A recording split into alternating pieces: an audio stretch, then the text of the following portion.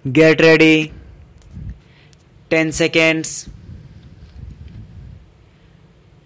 5 seconds. Start.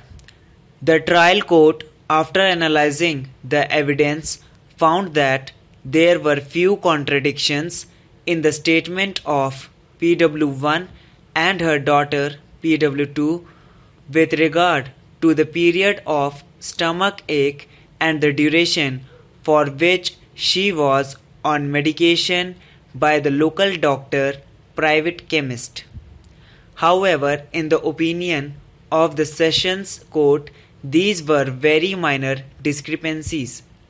The Session Court noted that the prosecutrix was only 9 years old child when the incident happened and she was only 12 years of age when she deposed in the court and therefore it could not be expected of her to report each and every fact by giving minute details.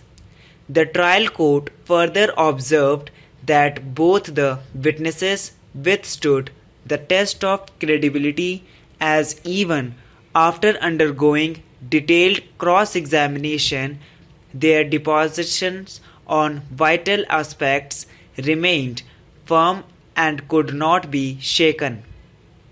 The main argument advanced by the defense before the trial court was that it was a case of inordinate delay where reporting to the police was three years after the incident. The trial court, however, was not convinced by this argument.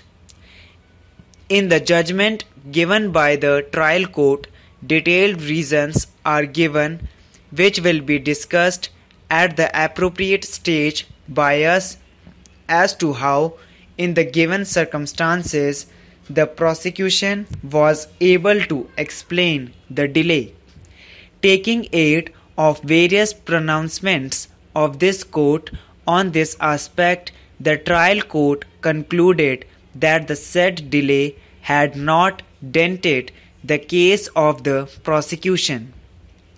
Other argument of the defense that PW1, mother of the prosecutrix, had filed false complaint to implicate the respondent on account of family feud was also not found to be convincing.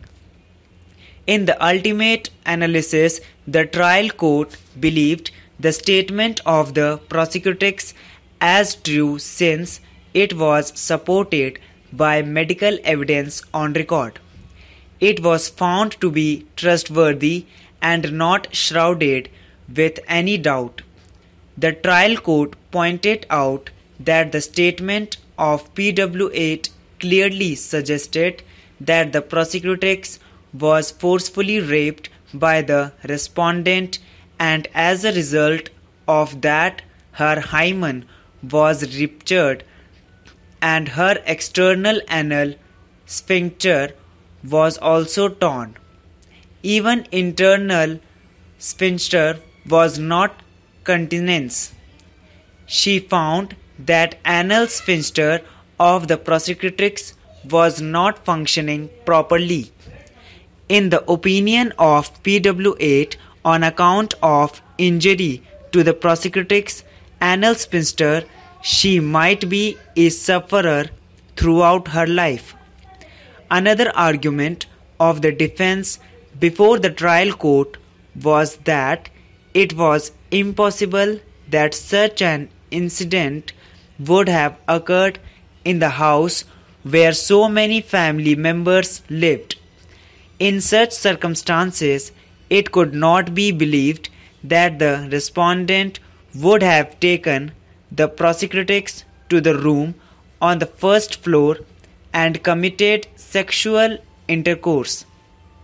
This argument was also brushed aside by the trial court, pointing out that in her cross examination, the prosecutrix has started that the incident had taken place in the morning hours around 8 am to 9 am. Female members of the family returned back to the house after one hour of incident. The prosecutrix had stated that she had not disclosed about the incidents to anyone since the respondent had threatened to kill her and also did not disclose to her mother on phone out of fear. She was not conversant how to make a call on phone. The Sessions Court found that the testimony of the prosecutrix appeared to be true. It could not have been expected of a child of tender age to narrate the incident or share the happening with her to anyone when she had been put under fear by the accused. Even she could not disclose this incident to her mother. Her testimony that she did not disclose to her mother out of fear on phone appeared probable to the session court keeping in view her tender age.